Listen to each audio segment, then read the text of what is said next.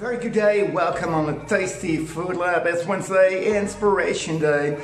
So, what shall we, we uh, make this week? Um, I prefer some cheese, uh, a little bit of roquefort, maybe gorgonzola or something like brie de meaux, raw milk cheese. So, um, first I make a crepe a crepe uh, with mushrooms and a little bit of cheese. I prefer uh, roquefort. Then I make some, something with Brussels sprouts.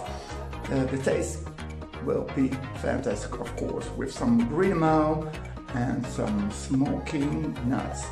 Mmm, great taste.